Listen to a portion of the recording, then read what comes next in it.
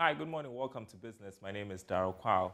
Chairperson of the Appiatse Community Support Fund, Dr. Joyce Aryee, has been defending what many think is a delay in rebuilding the community several months uh, since its destruction. According to her, the committee is building a model uh, community. The committee is building a model community with all the necessary amenities. Dr. Aryee spoke to Joy Business after the Ghana Revenue Authority donated 50,000 cedis to support the fund. Here's more in this report. The development of the Appiatse community is expected to cost about 70 million cedis, according to preliminary report from the committee set up by government to oversee the entire development. According to the Ghana Revenue Authority, the 50,000 cedis is part of its corporate social responsibility to support the rebuilding, which will also revive economic activities in the area. Dominic Knapp is Assistant Commissioner at the Office of the Commissioner General of the GRA. The responsibility of collecting revenue. And having also noticed or heard about the disaster that actually hit Appiatse.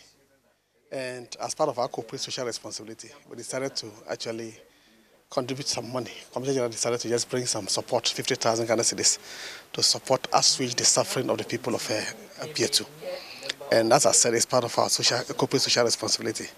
And uh, also note that that community is also a community we get taxes from. And now that they are down, we should also be able to help them be able to come up to uh, continue to engage in their economic activity. That is the essence of our being here. Reacting to some criticisms that work on the reconstruction of the community has been slow, chairperson of the Appiatse Development Support Fund, Dr. Joyce Aryee, hinted that work is progressing steadily to ensure that an ultra modern estate is built for the people. They want an enhanced community, not just uh, because it was wattle and daub, you know, you just go and, and do that. No.